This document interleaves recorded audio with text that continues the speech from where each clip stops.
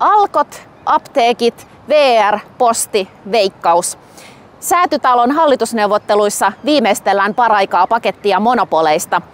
Kaupan liitossa jännitetään etenkin, miten käy viinien ja päästäänkö apteekkisääntelyn purkamisessa vihdoin eteenpäin.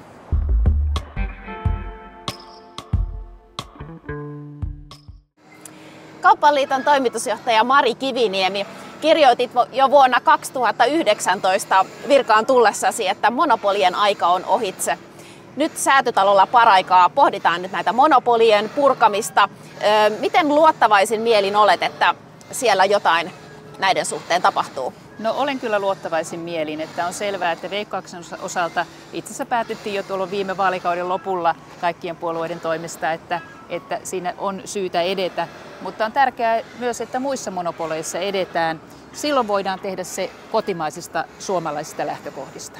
Niin, te olette Kaupan liitossa lobannut etenkin näitä viinejä ruokakauppoihin plus sitten apteekkisääntelyn purkamista. Miten pettynyt te olette, jos näissä asioissa ei nyt säätötalolla saada etenemistä? No totta kai olen pettynyt, koska tässä on paljon voitettavaa myöskin uudella hallituksella.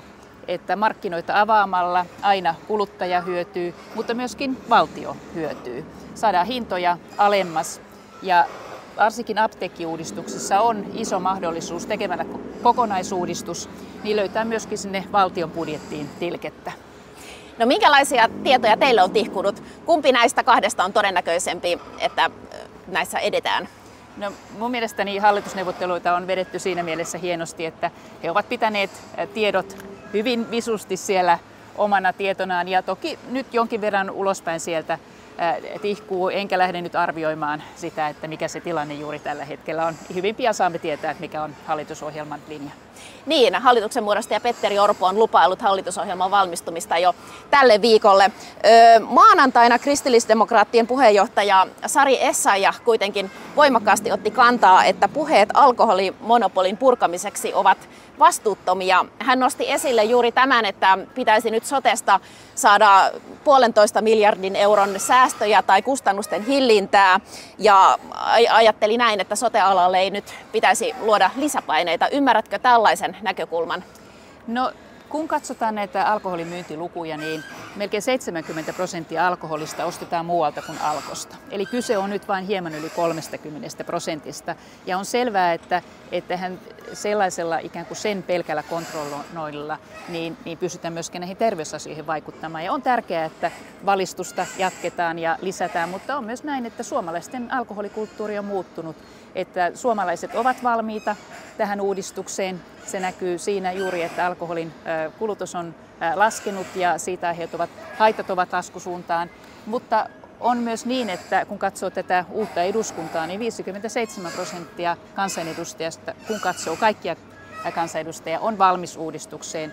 Mutta sitten kun mennään ihan näihin hallituspuolueihin, niin siellä se prosenttiosuus on vielä isompi. Mm. Ennen Kaupan liiton toimitusjohtajan työtä työskentelit OECDn apulaispääsihteerinä ja toisaalta myös OECD on ollut huolissaan näistä alkoholihaitoista. He ovat puhuneet tästä, tästä tota, politiikasta, että saatavuutta voisi hillintää, hillitä. Miten suhtaudut tähän? No on todellakin tärkeää, että jatketaan sitä valistustyötä joka on myöskin tuonut tuloksia.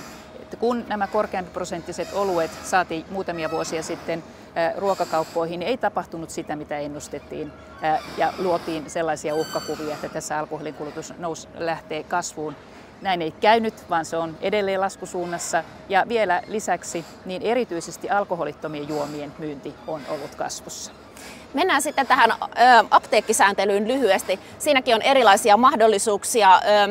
Säätötalolla olevista puolueista kokoomus on selkeimmin ollut purkamassa näitä eri osa-alueita, mutta jos nostetaan sieltä yksi asia, mikä olisi teidän näkökulmastanne keskeisintä tähän apteekkisääntelyn purkamiseen liittyen, missä nyt pitäisi mennä eteenpäin? No olennaista on se, että näistä omistusrajoituksista puretaan, eli apteekin olisi mahdollista perustaa myös sellainen toimija, joka täyttää kriteerit, huolehtii neuvonnasta siitä, että farmaseutit ja provisorit hoitavat ne tehtävät siellä. Nythän tämä on vain provisoreiden yksinoikeus, plus sitten meillä on kaksi yliopistojen apteekkia, ja tämäkin jo itsessään tämä nykymalli on kyllä näin niin kuin kilpailunäkökohdista erittäin kummallinen.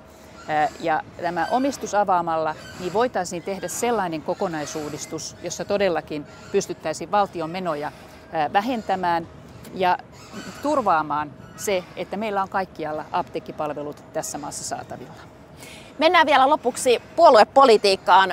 Ylen tuoreen kannatusmittauksen mukaan keskustan kannatus oli painunut alle 10 prosentin ja itsekin olet keskustan vanha puheenjohtaja. Millä mielin olet seurannut vanhan puolueesi taivalta nyt? No, nämä puoluepolitiikan kysymykset on sellaisia, että ne minä jätän heille, jotka siinä maailmassa toimivat, että itse keskityn näihin asiakysymyksiin ja niitä vien eteenpäin. Yritetään vielä yksi kysymys tähän liittyen. Keskusta päätti nyt ja mennä oppositioon ja näin linjasit silloin itsekin vuonna 2011, kun keskusta oli kokenut ison tappion. Ei tosin niin ison mitä nyt, tai ainakin kannatus oli edelleen 15 prosenttia, niin oliko tämä Annika Saarikon ja muiden keskustakumppaneiden linjaus mielestäsi järkevä? Voisi sanoa, että mä ymmärrän kaikkia puolueita, jotka on tehneet linjauksia nyt vaalituloksen jälkeen.